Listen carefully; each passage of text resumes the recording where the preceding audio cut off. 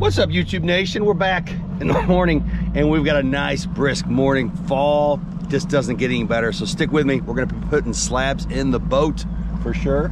We're gonna we're targeting a limit today. We're gonna keep some. We start keeping those fish once we hit this fall time, uh, just to have a little stash in the refrigerator, uh, the freezer, I should say, and uh, prepare ourselves for uh, fish fries um, this winter. So it's gonna be a fun one. Stick with me. Let's do this.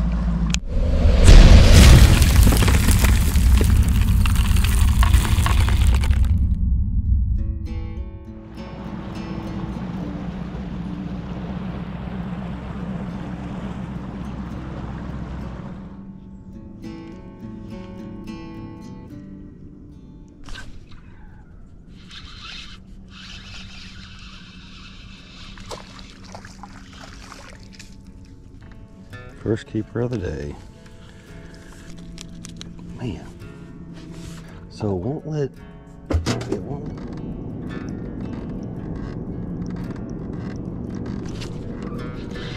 Really a light bite on that one. Boy, that was nice. Nice catch there. Perfect. Woohoo, baby. Great eater. Crushing it on my hair jigs right now, guys. You guys can check those out at 3poundfishing.com, the swamp in particular. But check out that hair jig uh, Let's Go Fishing Pack. I'm telling you right now, that thing is just on fire. Great deal on 45 hair jigs.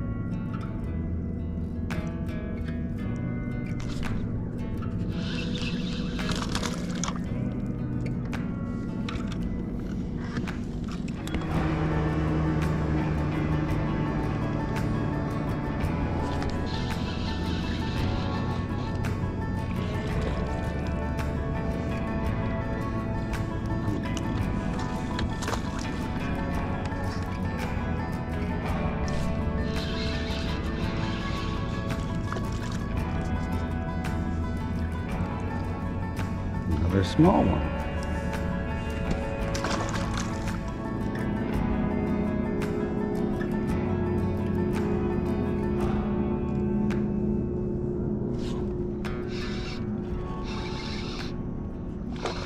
All right, good fish, guys. Great fish.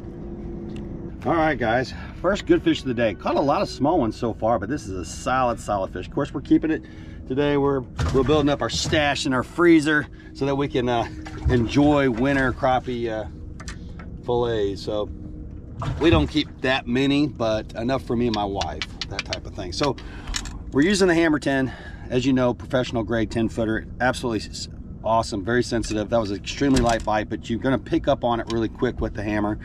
The sniping braid, I'm using the Comet all day long. Um, occasionally I use the Asteroid, which is the black version of the Comet, essentially. Um, and then right now it's just a mixture of plastics and hair jigs. But hair jigs, I gotta tell you, anytime you can use hair jigs, um, it's just more efficient. You don't have to worry about your plastics. And there's, you know, the Let's Go Fishing Pack is just a great buy because you get 45 for like $44 or like a buck a piece.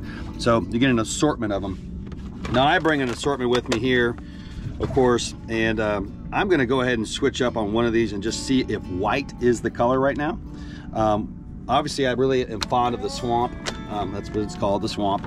But we're gonna try the zombie here and see if that whiteness and that contrast in head is gonna make a big difference. So let's try it out.